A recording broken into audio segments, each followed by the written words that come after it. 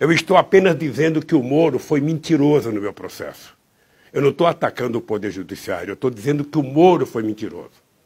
Ninguém gosta mais do Ministério Público do que eu, mas eu estou dizendo que o Dallagnol é mentiroso.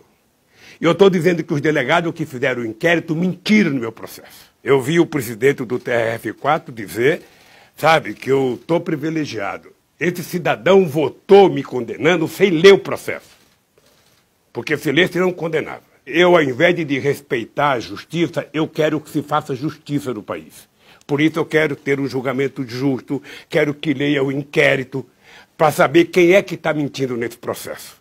O que eu não posso é aceitar um julgamento político, que eu estou dizendo isso há quatro anos, e se não bastasse eu falar, é só pegar o livro do Janot, pegar aqui que a gente vê no capítulo, na página 182, no capítulo 15, essa frase aqui, objeto de desejo chamado Lula, eu cansei de falar que eu era um objeto de desejo para a Lava Jato de Curitiba. Então agora a casa está caindo.